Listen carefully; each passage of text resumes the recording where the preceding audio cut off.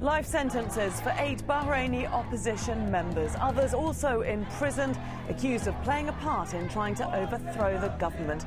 The verdicts handed down just days before the Bahraini authorities start a national dialogue for reconciliation.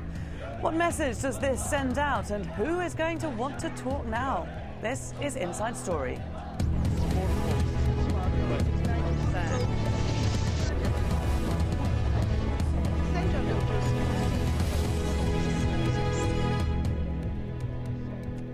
And welcome to the programme. I'm Laura Kyle.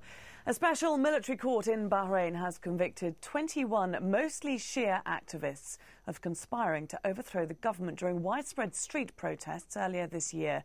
Eight have been handed life sentences, others terms up to 15 years. Some were sentenced in absentia. Charles Stratford has our full report. First came the protests. Tens of thousands of men, women, and children from all walks of life marching through the streets of Manama demanding political change and more equal rights. Then came the crackdown. Hundreds arrested, many beaten and seriously wounded by security services. A brutality that was never expected. It shocked this tiny Gulf nation and those in the media who witnessed it. But when the journalists left, many banned from returning, the trials began. The verdicts are now being handed down. 21 opposition figures and rights activists sentenced, six in absentia. The eight given life sentences include Hassan Mushaima, leader of Haq Party, his colleague Abdul Jalil El Singace, Abdul Wahab Hussein, leader of Al Wafa, both parties had called for the Bahraini monarchy to go. Also getting a life term is rights activist Abdul Hadi al Khawaja. His family say he has been repeatedly tortured in jail. The US president recently said there can be no reform in Bahrain if the political opposition are locked up. Only last week, Washington put its major ally and home to the US Fifth Fleet on the same human rights violators lists as Syria and Iran. Following the sentences, a State Department spokesman said, we are concerned about the severity of the sentences handed down in Bahrain. We're also concerned about the use of military courts to try these civilians. We continue to urge the Bahraini government to abide by its commitment to transparent judicial proceedings. The Bahraini government has called for a period of national dialogue and reconciliation starting July the 1st. The largest opposition party, Al Wefaq, says any such talk now is totally unrealistic. Protesters braved the security forces once again after the sentences were handed down. Police raids, intimidation and arrests continue more than three months after the attempt to silence Bahrainis wanting political change began. Charles Stratford, Al Jazeera. So clearly, these sentences have brought once again anger onto the streets of Bahrain. To look more at the ramifications here, we're joined by our guests in London. Saeed Al Shihabi, member of the Bahrain Freedom Movement, who on Wednesday was sentenced in absentia to life in prison in Bahrain. In Washington, D.C., we have Joe Stork, Deputy Director of Human Rights Watch Middle East Division. He's written extensively on issues of torture within Bahrain. And on the line from Manama, Dr. Saadi Mohammed Abdallah, former member of the Bahraini Parliament. Thank you all, gentlemen, for being with us today. First of all, I want to take a look at these trials and their sentences. Saeed Al Shihabi, I'll start with you. What do you know about the proceedings in your case, and did you ever expect it to be handed a life sentence? Well, I was never uh, notified of any uh, proceeding against myself. Nobody uh, told me that there was I was going to be tried. Uh, no uh, summons was uh, ever held for me. Uh, of course, they would say because you are living outside, fine. But uh, when they wanted me to talk to them, they were able to, to, to contact me. And when they wanted to burn my house two years ago, they knew where, where it was, and they did. When they wanted to, to, to beat up and to, to attack uh, Ali Mushaima and uh, Abbas Al Umran, they knew where they were. So uh, there is no problem with contacting us if they wanted to, but they didn't. So I was not aware uh, about any proceedings, of course, and I was not expected, expecting to get such a harsh sentence because we did not commit any crime. The crimes were committed by the regime. We only, we, yes, we did um, participate in demonstrations. We did call for uh, a government change. We did call for uh, reforms, but we never uh, acted upon uh, making any uh, violent violence in, of any sort. So the, the sentence has been harsh and unjustified, especially that it came from a military court under Saudi occupation. Okay, Dr. Saadi Mohammed Abdullah, how do you answer that? Why was Saeed al Shihabi handed a life sentence? Well, first of all, I just wanted to understand that Bahrain is a kingdom of institution and laws. Bahrain is not a jungle. Bahrain has laws, and one of the laws is penal code. Anybody who breaks up this law has to be punished according to his crime. Now, during what they call a revolution, or what they call is a peaceful revolution, this was completely unpeaceful, and it is not a revolution. This is a Syrian revolution, if it is right to say that it was a revolution. Many people think they they committed many many crimes. They killed many people, especially from the from the Asians there. They occupied the main hospital in Bahrain and the, they took hostages there. They kept weapons there. They uh, destroyed the university. They blocked all the main streets and the roads. They occupied the main ministries. They harmed the people. They spread the terror in Bahrain, and yet he is saying that we did not commit any crime. Okay, I'll just cut in there because plenty of allegations, which it's only fair to pass back to Saeed Al Shihabi to answer.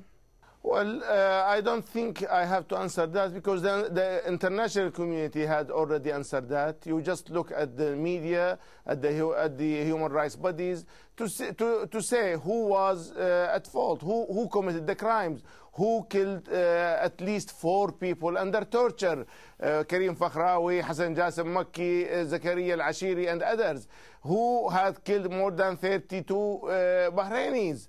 Uh, by swords or by uh, live bullets. And all their images are available. All of them, their, their, images are available. So we have to be told who had killed these people, who have destroyed the mosques of the Bahrainis, uh, who had brought the uh, Saudis into the country and ceded or conceded the sovereignty of the land to a foreign power. So uh, we have to answer. I think the international community, I think, is is united in, uh, in confirming what I have just said. I think uh, our friend in Bahrain is just uh, repeating the, what we have heard from the uh, mouthpieces of the regime. OK. Uh, Joe Stork, two clearly very opposing views presented there. What do you make of the way these trials were carried out? Well, the first point to make is that the trials uh, are military trials. They're a special military court. Uh, the judges, uh, the, the, top judge, the top, uh, the presiding judge is a military man, an officer. Uh, all the judges, him and the uh, two civilian judges, are appointed by the commander of the Bahrain Defense Forces. It, the, the setting is in the in, in the BDF area, the Bahrain Defense Forces area, the courtroom. Uh, so, uh, in, in, in, in all respects, it's a military court. Uh, the, your, our, our, guest from Bahrain is correct that Bahrain does have many laws. Many of them are very good laws, but these laws were completely ignored in the conduct of these trials.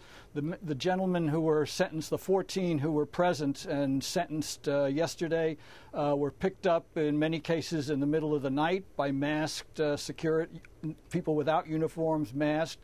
They were taken to unknown locations where they were held for weeks, in some cases months. Their families did not know where they were. They had no access to lawyers. Uh, these are in complete violation of Bahraini laws, uh, not to mention international standards. So I'm afraid whatever crimes uh, protesters or non government people, uh, ordinary Bahrainis, may have committed in the course of the demonstrations or afterwards. Uh, if there were crimes committed, they should be investigated, they should be prosecuted, but they should be prosecuted before a court that meets fair trial standards. Uh, Dr. Saidi Mohammed Abdullah, it is true, isn't it, that these are civilians who've been tried in a military court under special conditions of an emergency law? No, because yes, because we were in the emergency law, and you cannot imply the civilian laws during the uh, pure civilian law when you have emergency laws. First of all, I have to clarify that all those people they had a fair trial, all the guarantees that had had been provided for them. They had their their lawyers, they had their families this with is them. simply untrue. All the I'm NGOs sorry. were simply, there. Even the even this is the, simply not the, true. Even no, this is true, and this is true. This and is not true. I have some of our. This is true. Some of my friends they were attending there, and people representing the human rights were there. People from the They were not there. the, I'm uh, sorry. There was no were- one from the no, human, no, international human rights maybe community there. There there was no one there. There were there were people from the national commission. We have we have we have uh, appointed by the government. People appointed by the government. People appointed. This uh, this is the National Commission for the Human Rights Yeah. of Bahrain, and there's The Abdullah. Darazi. No, no, no. Abdullah Darazi. He attended once there. He is not representing the official one. He is not representing the official one. He is representing the human rights, and it is a civilian one. It does not have to do with. It, it's not representing the official one. The Well, third well, tell me, is Abdullah is Abdullah Darazi able to talk publicly about what he saw in the courtroom? Is he Yeah, able he to talk with us? I don't think yeah, so. he, he can talk. No, no, no. Don't assume things that you, you uh, uh, instead of him. He can talk freely, and I, we don't like anybody to fabricate to fabricate the the pure picture about any our, our country. They are saying that those people they committed the crimes. They committed the crime. They What, have their crime, lawyers. what, crimes they- was they- committed? What crimes was committed Yeah, by Hassan Mushaima or by Abdul Wahab Hussein or by Abdul Jalil Singace? What? Hassan Mushaima, first of all, he was he was he was the one who wanted to overthrow the regime. He was the one. Is that a crime? who Gave the order. Is that a crime to is that is that a crime to call for uh, a regime change? Of course, it's a crime. We have a penal code. You go and to, go to Iran, go to Iran and ask for the for the for the change of their regime. You will see that they will hang. I'm talking about I am, I am talking about my country. I'm not talking about Iran. That's what I'm saying. I'm, I'm talking about that's what I'm saying. Bahrain, Bahrain, because we are in Bahrain, they are implementing the, all the laws and according to the international standards. You people, you have been living. So you you- so you you you think calling for a change of government is a crime? No, no, no. You have been, you have been attacking Bahrain, and you have been fabricating all the facts about Bahrain. You have been telling lies About the ruling Bahrain family, not about. Bahrain. About the ruling family, yes, can- but not about Bahrain. Okay, Dr. Sahidi Yeah, Mohammed Abdullah, I want to just step in here because there is one very interesting case in particular of Ibrahim Sharif, a secular uh, leftist Sunni.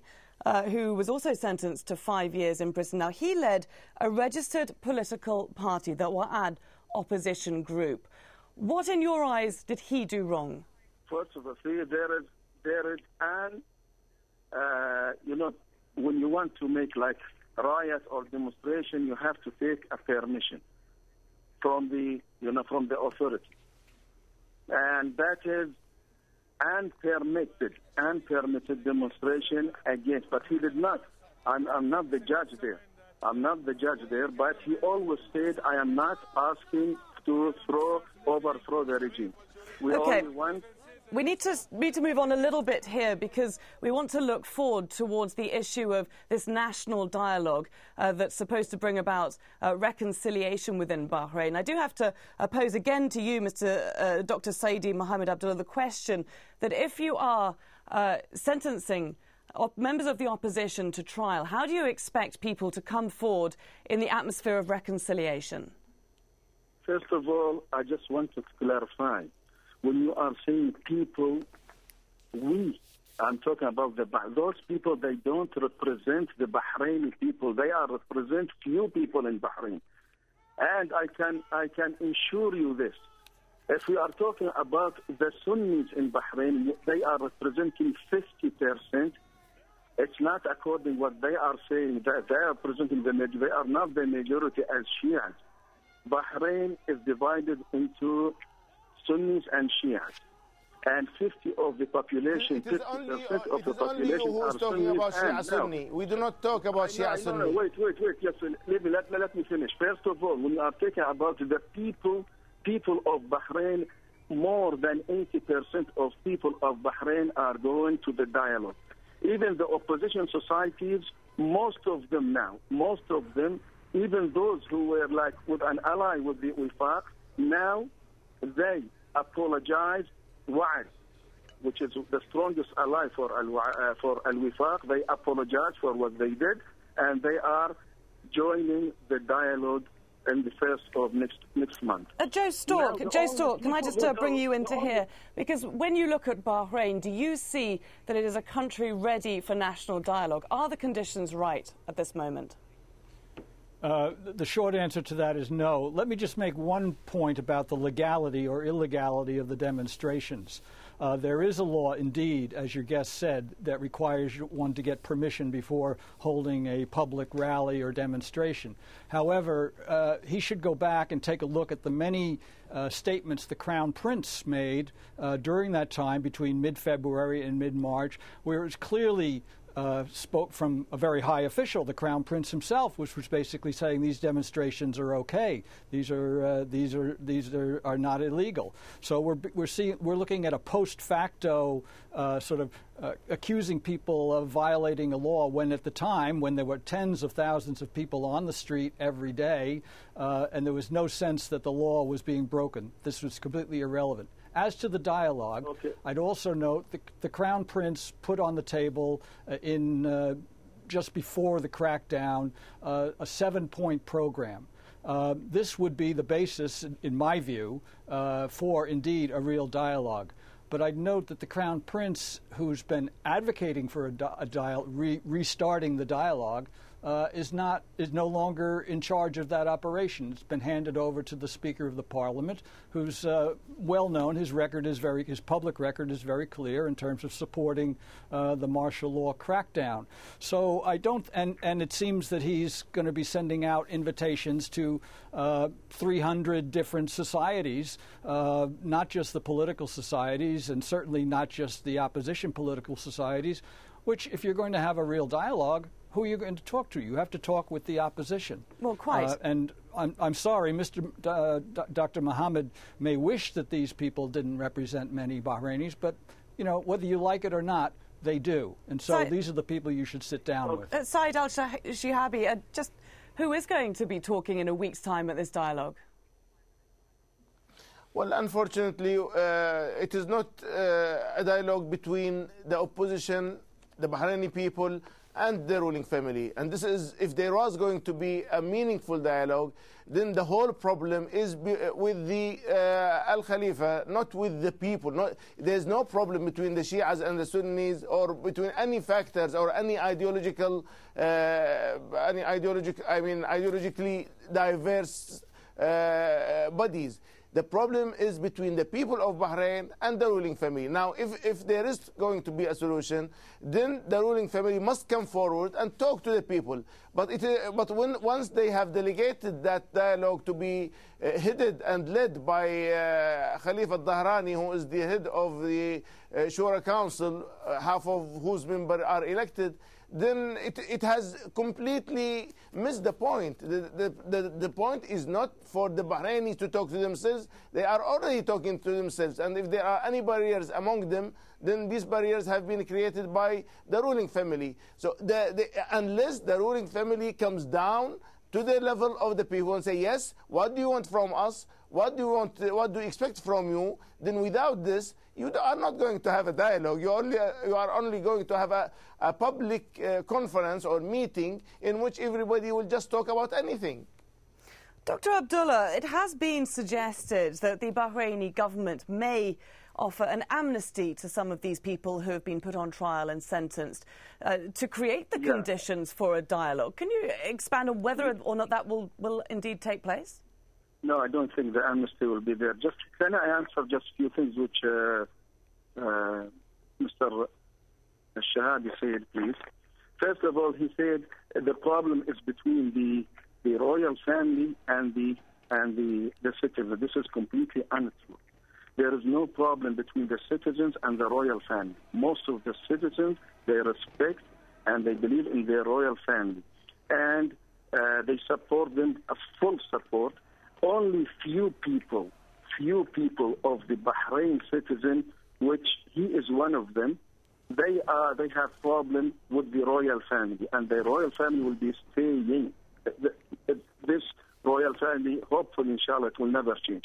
Uh, so he is not allowed to talk about the Bahraini citizens. He can talk about himself. This is one thing. The second thing, I want to emphasize that the Crown Prince, the Crown Prince, in the beginning of the of the revolution, as they call revolution, he called them many, many, many times to sit on the table for the dialogue. And he told them we have no ceiling for the for the dialogue. They were refusing all the time, and they were putting many unbelievable conditions. And when all the, when the revolution failed, now they are asking the crown prince to take over again and take the lead in this dialogue. Now let me tell you, there is no problem who is leading that dialogue. They can attend and offer whatever they want to offer with no ceiling. As the king said, as the crown prince said, as uh, the, the, the speaker of the, of the parliament said, everybody can come and they can offer their requirements uh, with, with no ceiling at all. But they are refusing. My point my point, I think they will attend. By the end of the day, they will attend the dialogue. They might create some problems inside on the table, but but by the end of the day, they will attend. Okay, Joe Stork, from, uh, from looking outwards in Bahrain, do you think that these people are likely to attend the dialogue? Well, that's really a decision they have to make, and I don't really have any advice for them on that count.